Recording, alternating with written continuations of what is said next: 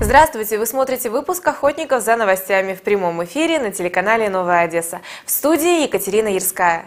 1 мая – День весны и труда. Так этот праздник называется с 92 года. А до этого он был Днем солидарности трудящихся. Иногда говорят, будто после развала Союза из праздника выхолостили его настоящее содержание боевое и протестное. На самом деле праздник изначально был не политическим, а просто весенним. Как этот день отмечает Одесса, знает Светлана Пензова. И она на прямой связи со студией. Светлана, как у вас дела? Нас дела? Работаем. Здравствуйте, студия. Мы находимся у оперного театра на пересечении улиц Решелевская и Дерибасовская.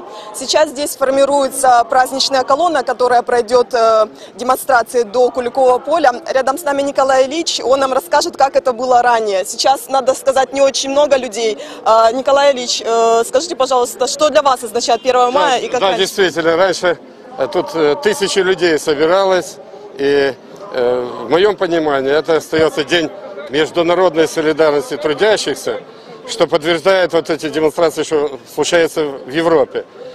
Обидно, миллионный город, а нас же заставляли по радио, везде говорили, вот как вы проведете 1 мая? Ну, на склоны, на шашлыки.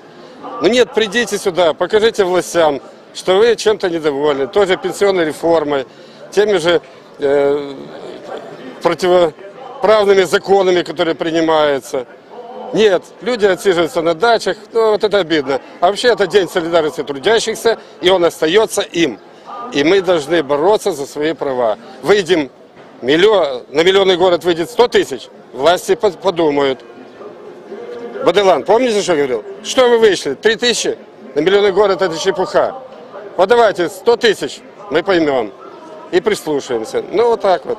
В колонне видно, все-таки есть и молодые люди, и Да, да, в пожилые. последнее время к нам, в Компартию, примыкает очень много молодых людей.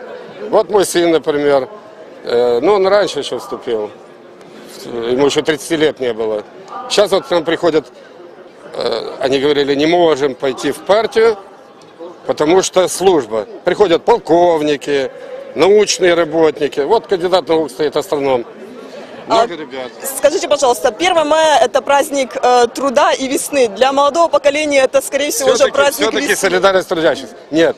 Вы посмотрите, что творится в Европе. В той же Германии. Сотни тысяч людей выходят.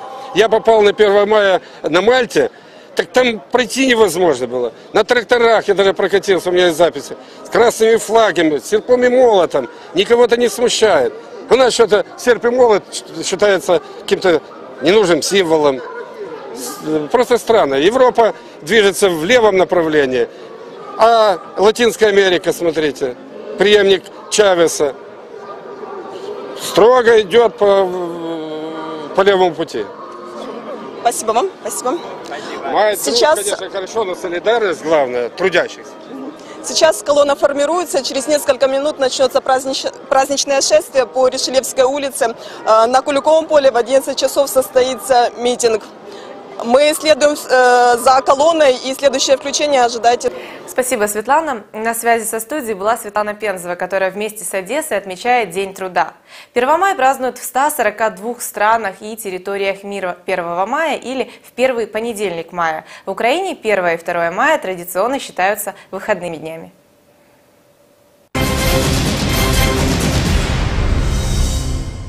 Если вам есть что сказать, для вас работает телефон горячей линии 706 38 96 706 38 96. Узнавайте, что происходит в городе на нашем канале. Увидимся. В студии была Екатерина Ирская.